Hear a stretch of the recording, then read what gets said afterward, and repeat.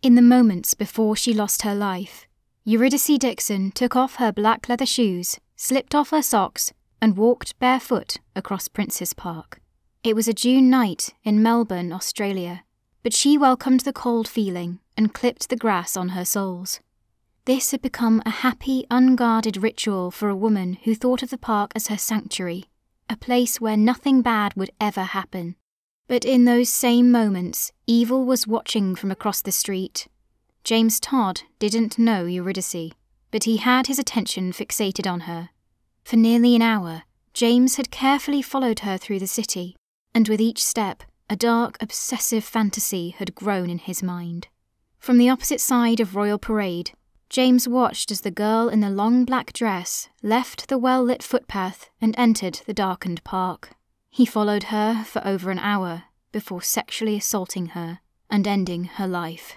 In the days after Dixon's body was found, her black shoes discarded not too far from where her body lay, Australia recoiled in grief and horror at what had happened to this bright and talented young woman.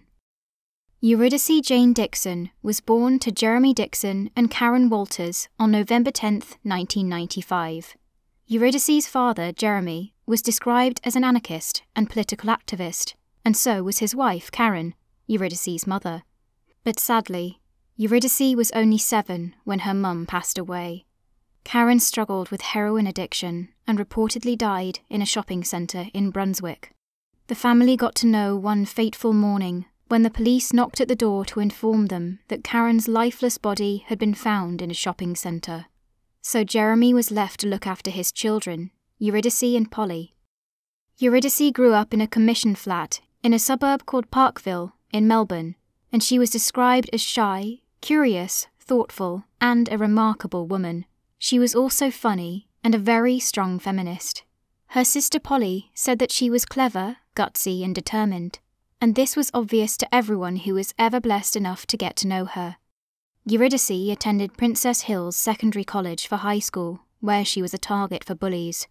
She had a pretty hard time at the school because she was perceived as being strange. In her teens, she would discuss and talk about subjects no one of her age talked about, so some of her mean colleagues saw her as too smart and always picked on her because they felt intimidated. But Eurydice had a plan. She was a creative soul and wanted to study drama at Deakin University in Melbourne, and she did. While there, she joined the Burwood Student Theatre Company, a theatre company run by the students at Deakin University.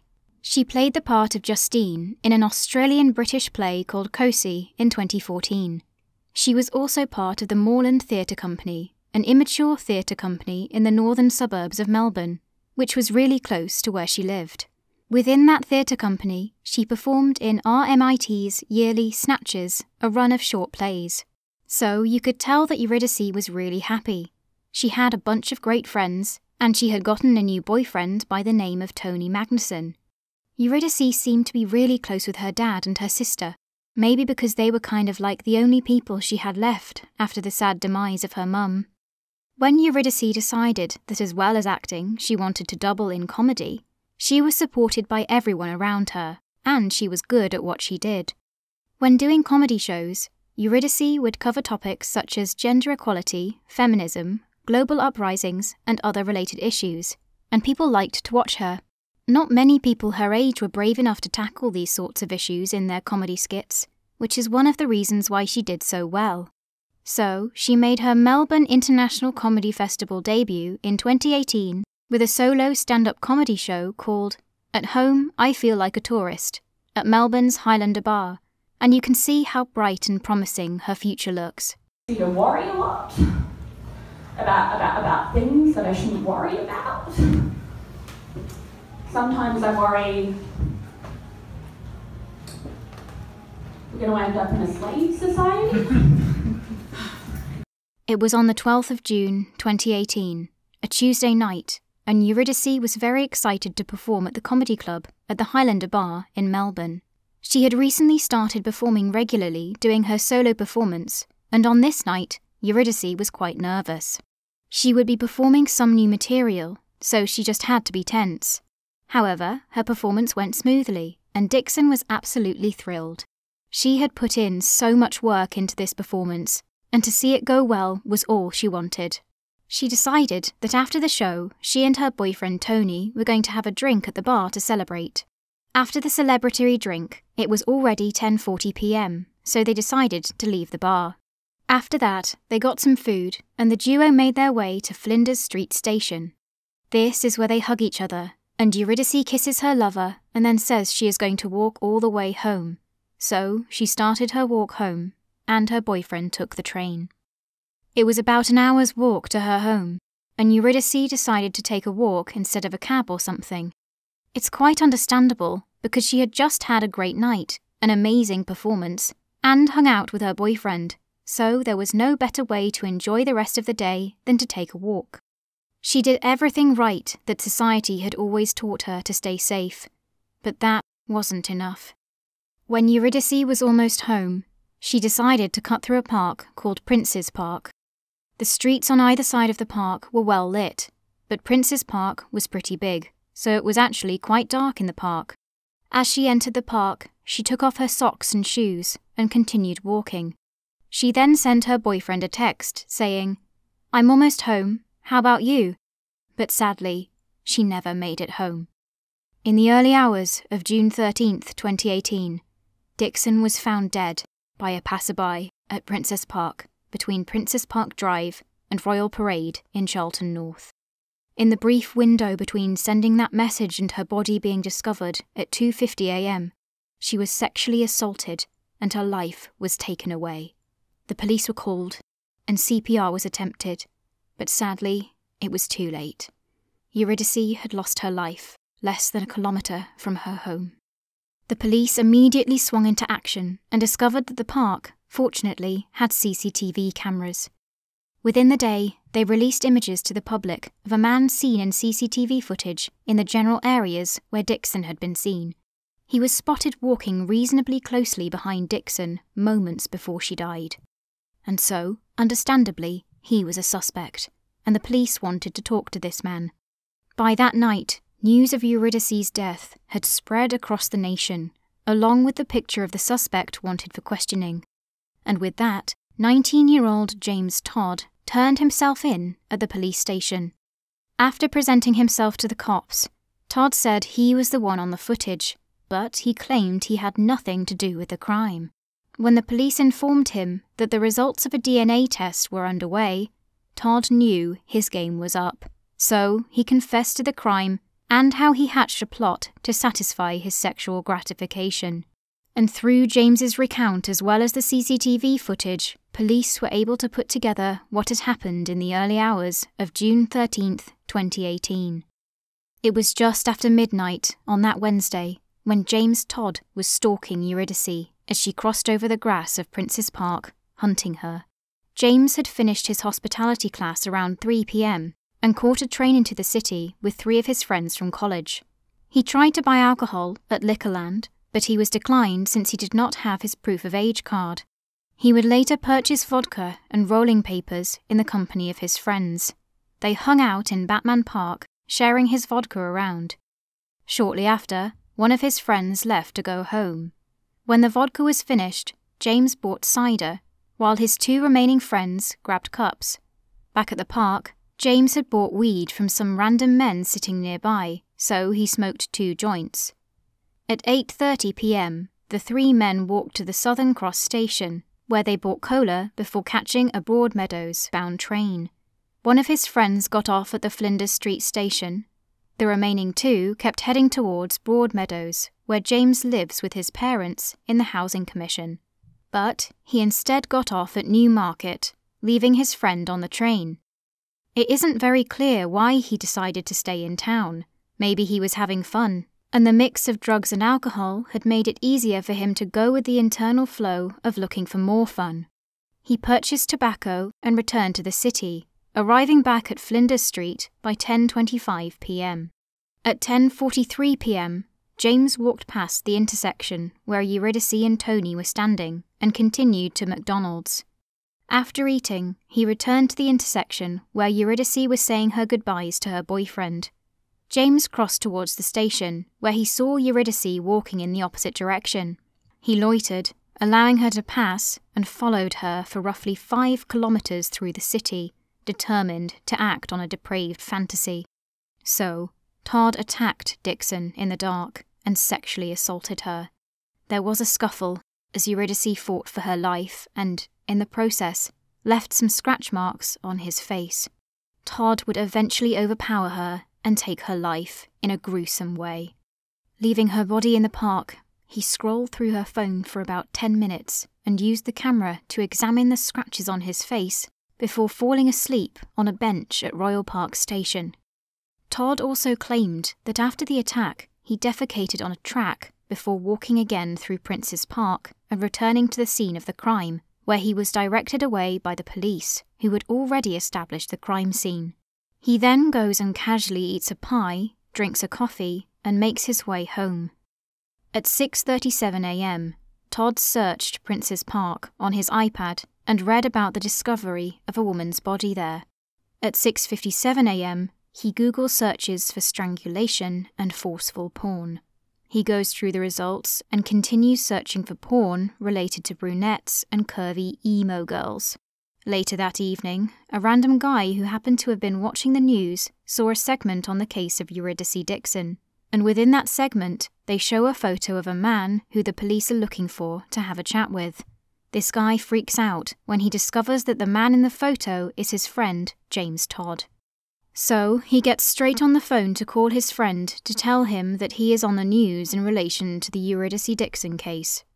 It was at this moment that the police surprisingly received a call from a man who said he was indeed the man in the photo, but he knew nothing about the case. The police then ask him to make his way to the station to answer a couple of questions. So Todd gets his girlfriend of four years to drive him to the police station, and in an hour and twelve minutes, He's arrested for offences bothering on taking a life and sexual assault. As soon as James Todd came to the limelight after the incident, James's family sort of went underground and never did any press interviews or anything like that. Although not much is known about his mother, his dad's name is Jason, and James was born in 1999. He was one of three boys. James had an older and younger brother, and the family lived in a commission house in Broadmeadows, which is a suburb in Melbourne. Court documents described this house as an environment of rotting refuse, vermin, and complete squalor. At a young age, James Todd was actually diagnosed with mild autism and also ADHD, and it seems like he really acted out a lot in school, meaning that he had to change schools more than once growing up.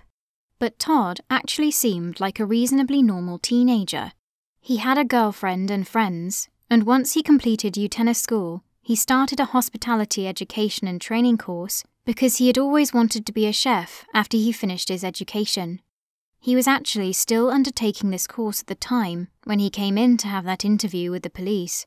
However, what Todd's friends and family didn't know was that he was actually addicted to porn. Jason would spend hours at night watching violent porn including porn where the female victim was depicted as dead at the end. And it's pretty interesting because it's synonymous with people who watch violent porn like this. As time goes on, they often find out that watching it isn't enough and they want to do the real thing. While in custody, James reportedly told his father over a prison telephone that he was very disappointed at the way the crime took place. He said immediately after that he didn't feel too good and hoped that it would be better next time. And by the word next time, he probably meant if he had had a chance to do it again, he'd do it better. It is really difficult to comprehend the fact that after being arrested, the offender was unremorseful and planned to commit the same crime if he had the opportunity. So it's only reasonable to think that if the police hadn't cracked the case and made an arrest in time, James probably would have been on the streets seeking to do a better job. Dixon's death triggered a large and loud outpour of sorrow and anger, and she became the subject of many tributes on social media. Friends of Eurydice also gathered at a regular comedy night to pay tribute to the young comedian at the Exford Hotel. Most people on social media remembered Eurydice, known as Riddy, as someone who had a bright future in comedy. Kaylee Christian from the Comedy Women's Association said everyone was very shocked and saddened by what had happened, including Melbourne's comedy scene. Nobody knows how to deal with it, she said. Kaylee also said many comedy gigs were cancelled on Thursday night, a day after the incident, saying people weren't feeling terribly funny. Many comedians, including Anne Edmonds, Zoe Coombs Marr, and Melbourne International Comedy Festival director Susan Provan, donated via a fundraising page set up to raise money for Eurydice Dixon's family. The Highlander Bar publicly posted the following day We are deeply saddened and shocked by the tragic news of the death of Eurydice Dixon. She was a talented, unique, and a universally loved person, and the entire staff are shattered and heartbroken. Our heart goes out to her family, the comedy community, and everyone else who knew and loved her. She will be remembered fondly and sadly missed. Rest in peace, Eurydice. We have no further comments at this devastating time.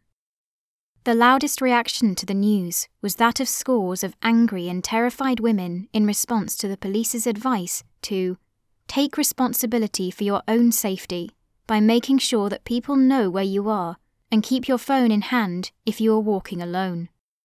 Freya Logan, a Melbourne local and co host of Follow Sports Like a Girl podcast, released her thoughts on the matter, which echoes the anger that many women have felt, saying, I did not know Eurydice Dixon, but I felt her death personally. Not only myself, but a lot of women will feel the death of Eurydice Dixon personally, not because we know her, but because her murder is the summation of fears we govern our own lives by every single day. It's winter and it's dark by 5:30 p.m., which means my normal commute home is a range of a thousand thoughts about what I would do just in case.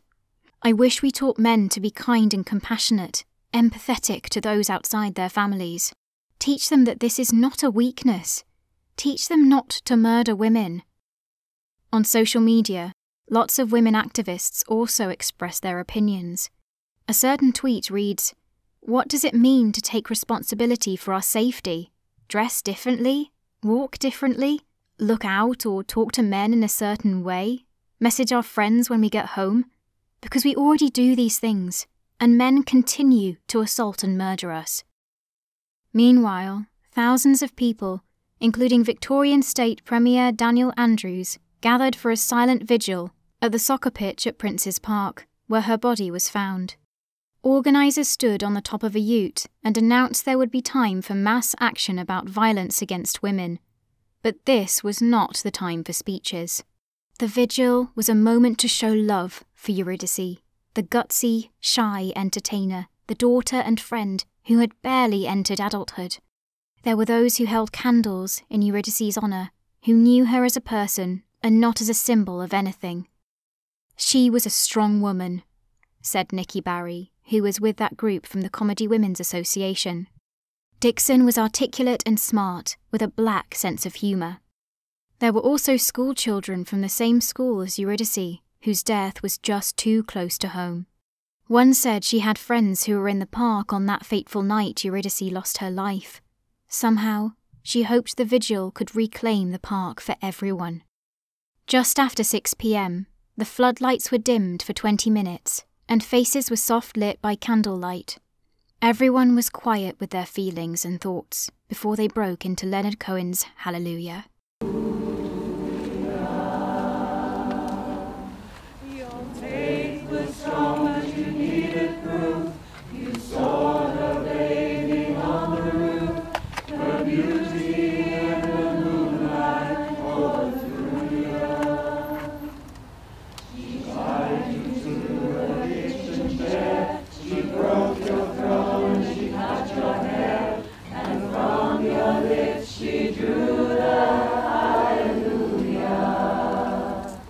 Vigil, which saw the gathering of strangers, was to stand for something and bear witness.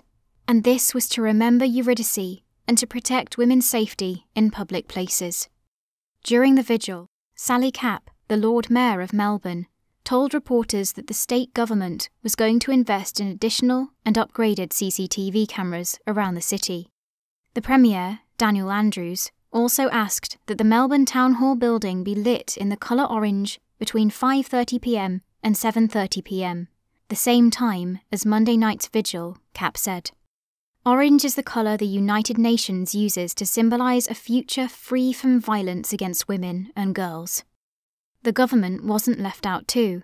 Then Prime Minister Malcolm Turnbull and opposition leader Bill Shorten attended a vigil at Parliament House in Canberra, which saw another large turnout. The following day, police noticed that offensive paint markings were at the site of the floral tributes to Eurydice. Apparently, a wannabe comedian, Andrew Nolch, a men's rights activist and host of the Indie Scientologist podcast, admitted to spraying an enormous male genitalia on the grass where her body was found. He later told the police he did it to provoke feminists and make the news, a feat he achieved. Nolch was found guilty of criminal damage and sentenced to five months behind bars for vandalism in September 2018. Andrew, who is a raging conspiracy theorist, revealed on a podcast that defacing the memorial was part of a comedy act that didn't land because police state rules got in the way. He said, The whole point of comedy is just you having to be able to say freedom. He bemoaned.